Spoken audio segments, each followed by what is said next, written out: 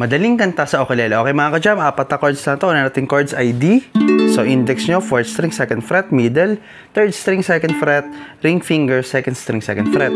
Then susunod ay B minor. So pwedeng ganyan yan. Tuturo ko sa inyo madali. Flat nyo lang muna dito sa 2nd fret, then yung ring finger dito naman sa uh, 4th string, 4th fret. Yan flat yung index sa, la, sa second fret, tas yung ring finger, fourth string, fourth fret. Okay? Kung hindi nyo kaya yan, pwede nyo namang i-flat na lang tong uh, index nyo sa first, second, third string sa second fret. Huwag nyo lang tataman si fourth string. Okay?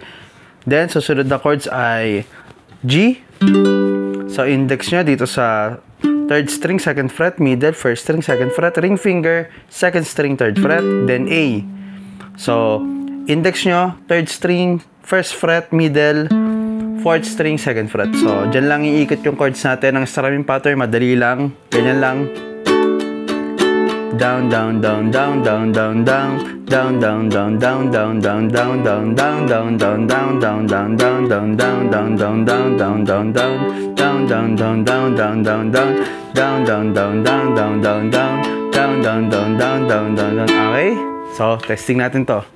Okay mga ka-jam, so unahin natin yung verse. Doon lang iikot yung chords, mag-iiba-iba lang yung posisyon nila. So sa verse, D, B minor, A, and G. Okay? So ayan, nakalagay naman dyan. So, testing natin. Loving can hurt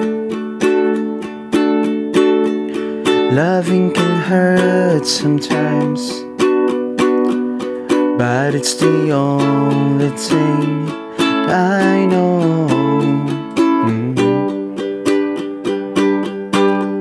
La ra ra ra La ra ra ra ra ra La ra ra ra ra La ra ra ra Tapos sa verse mga ah, sa refrain ang chord sa manay B minor G D A okay so ganun pa rin yung pattern La da da da da this photograph la la la la la la la la La la la la la la la la La la la la la la La la la la la la la Pagsak sa A, tapos sa chorus, D, A, B minor, G.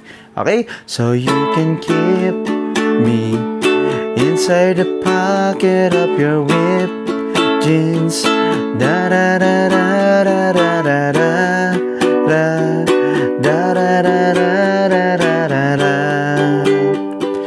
Wait for me, come home.